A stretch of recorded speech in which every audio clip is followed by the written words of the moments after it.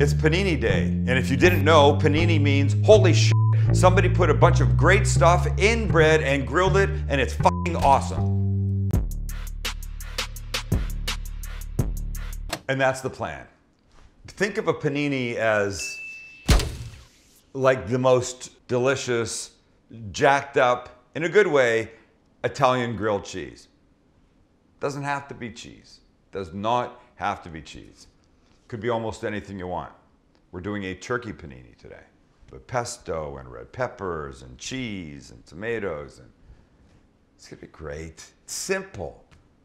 Simple. We start with the building, but we start with the bread first. And here's what I'm using. I'm using ciabatta. This.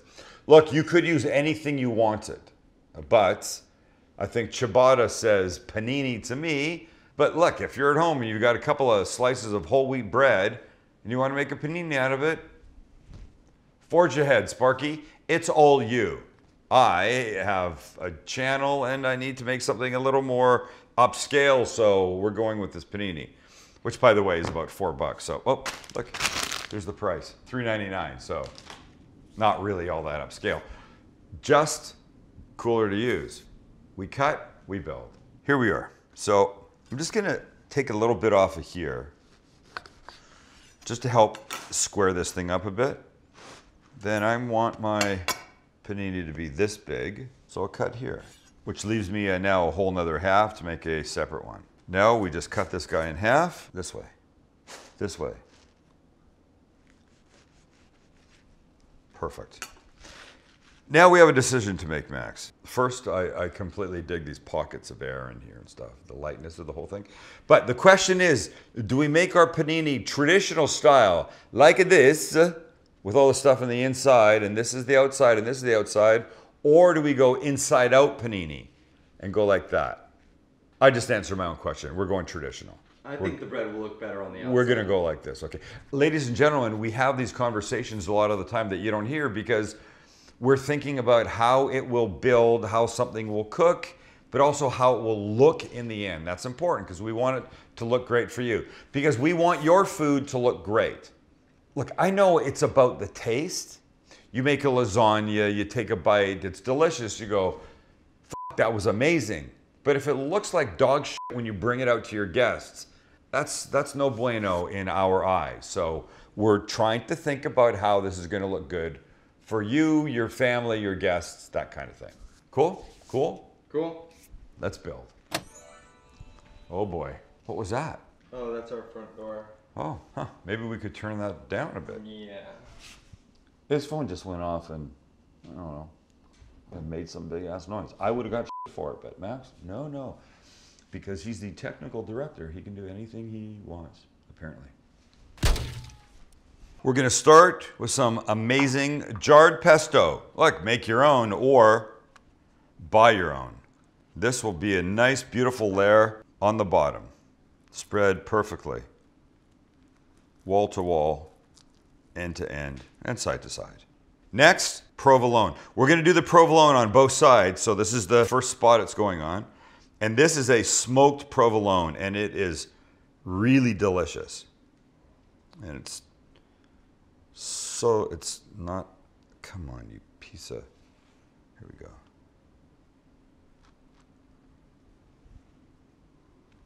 We want good coverage here. Like that, and then maybe another little half right here. Next, jarred roasted red peppers. Fire roasted, best things ever. We take them out, we drain them a bit, then we put them on here.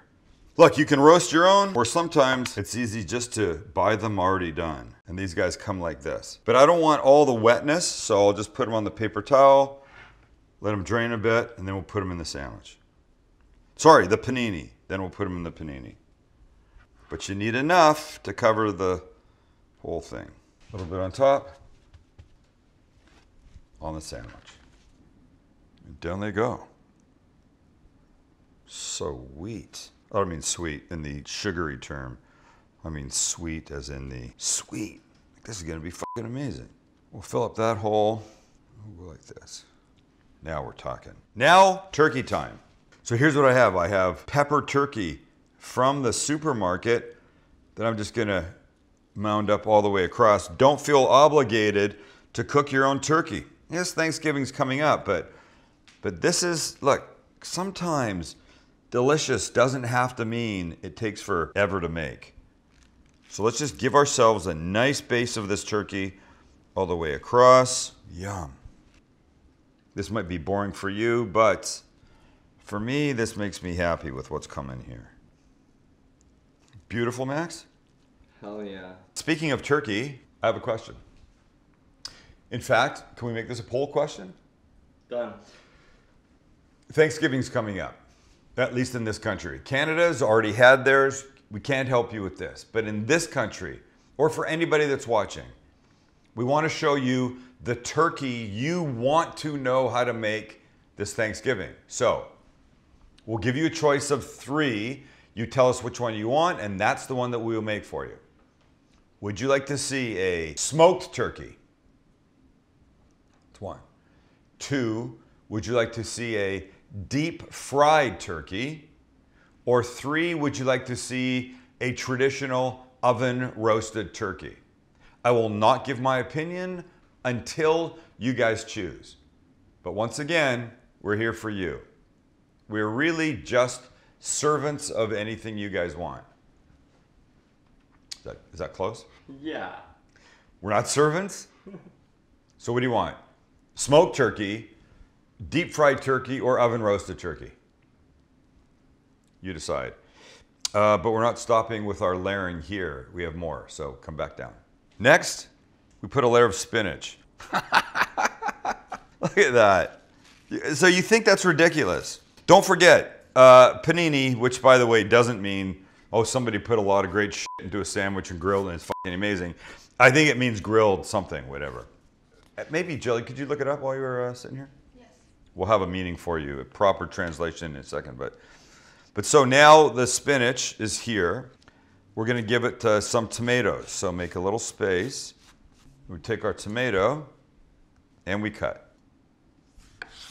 By the way, can I take a second to show something? You just saw how beautifully that tomato cut, right? Right. It's because my knife is sharp. It's because I just bought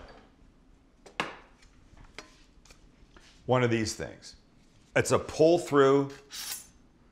Oh, sorry. It's considered a pull through sharpener.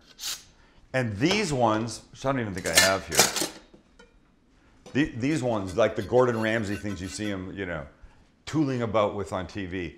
Those things are fine if you know how to use them, but you have to get the, the knife at the right angle when you draw it across this way, this way. They're complicated. I sharpened all my knives yesterday with this guy that we'll put a link to. But it brings up a bigger idea that we're going to put together a gift giving list of kitchen things, stuff to make your food life better, which pretty much is just our goal. So, if you don't know what you're going to give people that like food as you get towards the holidays, look to us to put this thing together. And we should have it up in the next. No, everybody went like this. but it will be there. And we'll make it simple for you. Okay? Because you want to give people stuff. Look, fucking, fuck, sorry. Look, forget the stupid shit. The, the ties, the socks, the, the aprons. Kiss the cook. Now somebody will be mad because they gave a kiss the cook apron. And, but give useful things. Useful things. This is useful. A good knife is useful. Uh, uh, uh, uh, wait. A garlic press is useful. An instant read thermometer is useful. These things are all great. And they're not expensive. There will be some expensive things on there, uh, a sous vide machine, that kind of stuff. But, but just know that we will give you a list that you can go, Uncle Larry, Aunt Norma, Mom, Dad, Sister Susie, my girlfriend would like that. And by the way, don't give a girlfriend or a boyfriend cooking stuff, I don't think. I think it needs to be a little more from the heart, which this could be. But let's continue. Back to the tomato. Look at that beautifully sharpened knife cutting the tomato like it should be. I couldn't do this yesterday. I can do it now because they're sharp. These guys go on top. Uh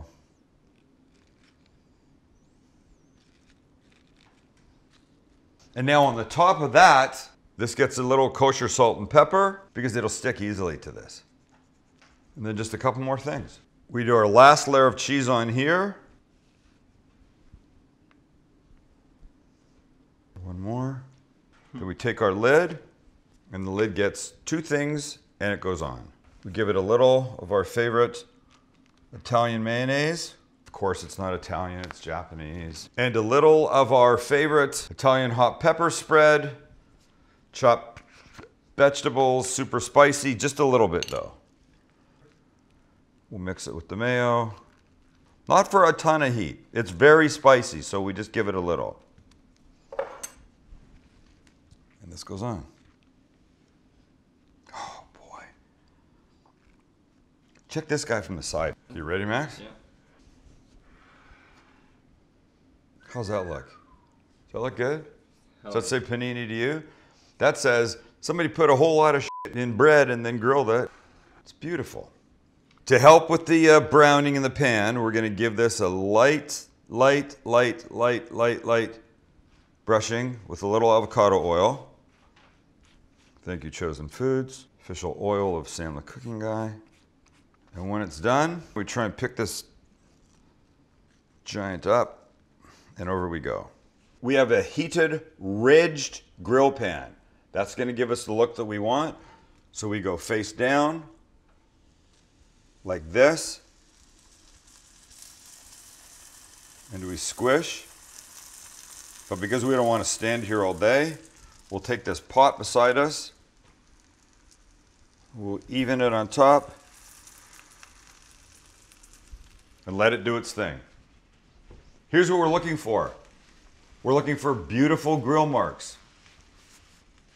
And then we're going to turn it and get the crosshatch. If we can pull this off. But we want gentle heat. If it's too hot, uh, it'll just burn, and you don't want that. So when you think you've got some good color, how's this going to work? How am I going to do this next? You give it a 45 in the pot. Come on, you. Goes back down. Okay, when the bottom's ready, which technically is the top, we take our oil. We do our thing right here once more. And now, Max, we try and flip it. I don't know how this is going to work. One, uh oh, two. Look at that. Look at the melty cheese, the crispy top. That's exactly everything I wanted. And we'll let the bottom finish without the pot on top so we can look at it and just admire. And when she's gorgeous and ready, we eat. And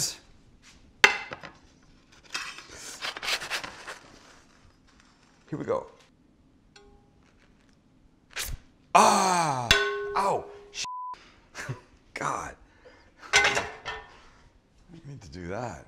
Look at The melty cheeses, the tomatoes, the peppers, the spinach. What I call spinach. The little Vanna White turn. She's a beaut, huh? But should we cut her? That's the question. Yeah. Okay, here we go. So, I can't find my serrated knife.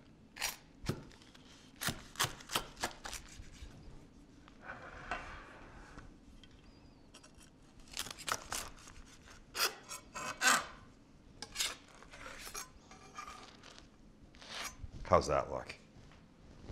That's got to look pretty, right? And so let's have a bite. Let's go this guy, this guy, this guy. I mean, look at the layers. You've got the ciabatta, you've got the pesto, you've got the provolone, you've got the roasted red peppers, you've got this this peppered turkey layered up, you've got the spinach, then you've got tomato, the salt and pepper, more provolone, mayo, the the, the hot pepper bits, and then the top piece. I don't even know how you. It's already leaking. I think that's a good damn sign. Here we go, right here.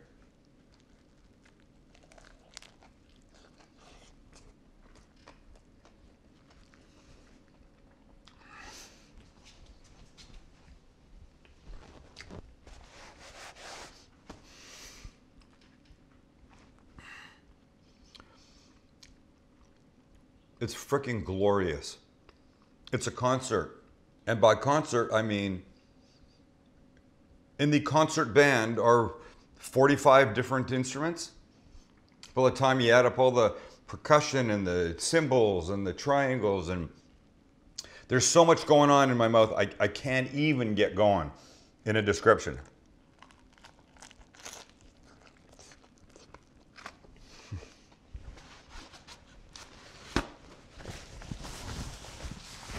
Oh my God.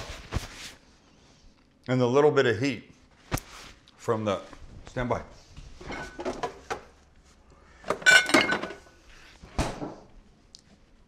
I don't know where you live, but I will shout out these guys. Not paid, by the way. This is so good. We put this in the garlic bread that Max didn't like the other day. Sorry, you didn't like the picture of. We put this in the hot Italian uh, sub thing that we made. A little bit of this, so good. Or some version of this is a must for your pantry, your refrigerator, your condiment door. There's a genius thought. We do a condiment episode. The 10, 15 things that will change your food life by keeping them on hand. And by the way, for people that are looking, going, hey, bro, a panini is made.